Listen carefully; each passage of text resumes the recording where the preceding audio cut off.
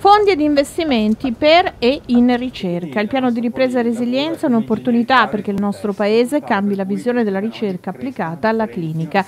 I progetti ci sono ed anche i risultati. L'Istituto Veneto di Medicina Molecolare è una fucina di cervelli più che in fuga, trattenuti e intercettati dall'estero. La Fondazione Ricerca Biomedica Avanzata è l'anima dell'istituto quanto con i fondi del PNNR vi aspettate degli investimenti più consistenti? Questa è, la domanda che ci facciamo anche noi, perché vorremmo capire esattamente qual è la quota del PNR che sarà devoluta alla ricerca, perché in questo momento non devolvere buona parte dei fondi per la ricerca vuol dire amputare il destino di questo paese. Dobbiamo restare e rimanere in posizione, essere sempre i numeri uno, visto e considerato che questo è un territorio che fa ricerca, che fa innovazione e nella sanità si vedono ovviamente i risultati. Si pensi che qui a VIM si costruiscono gli organoidi, no? i cuori in miniatura, intestini in miniatura, si lavora con le cellule staminali, si fanno studi per il tumore alla prostata,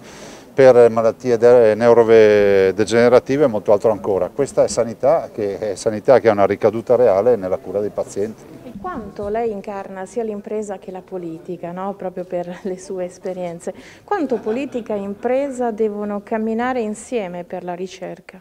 Dunque, guardi, questa è una domanda direi importante perché eh, l'impresa deve saper dialogare con la politica e deve fare capire alla politica veramente quali sono le priorità, perché di progetti, di idee, di, di possibilità ce ne sono tante, però bisogna fare una grande cernita, una grande eh, capacità di eh, analisi e, e, non possiamo perdere il, le risorse per eh, gli investimenti che non hanno un significato.